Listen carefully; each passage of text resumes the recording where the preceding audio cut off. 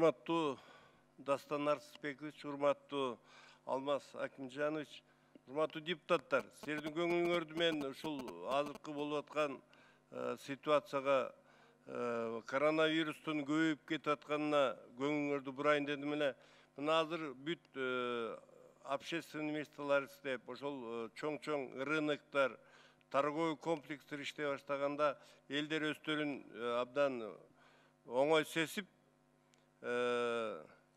медицинский работниктердин айткандарын жасабай көпчүлүк мезгилде кыйналып атат да. Мына могулну карап көрсөк жетимиш төрт чыгыптыр бүгүн. Ошол эле мезгилде оштон чыгып атат нарындан чыгып атат көп чыгып атат да буларда себеби бул жерлерде кандай караш керек? Эмне үчүн таластагы таластын администрациясы губернатору порядок кылып ал жерден эчтеке чыкпайт?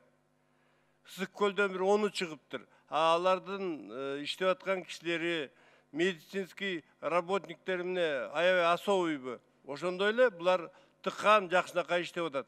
Нарынга келип үч бир пакистандан бир индиядан бир москвадан келип үч киши келип туруп жугускан ошону токтото албай бүгүнкү күндө эл да кыйналып атат.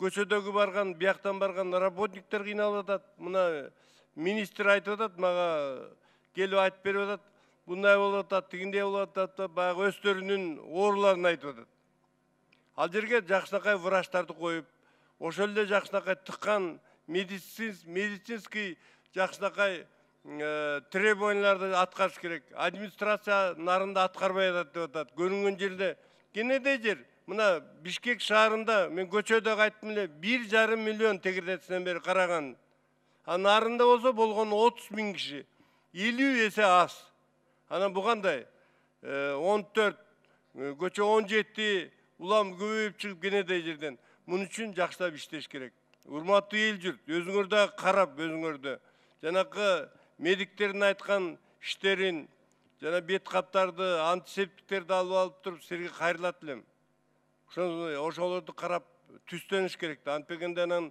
бул оору деген билгизбей келген оору экен өзүнчө мунун ракетасы да жок катюшасы жок элдин баарын оорутуп атат.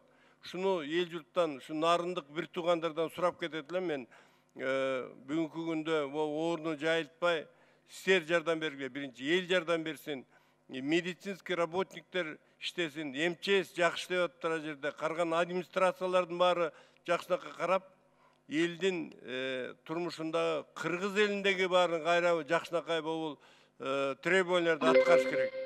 Же болбосо муну жасабасак кайра жабат ушуну карап койгула көңүл бурганыңарга чоң рахмат.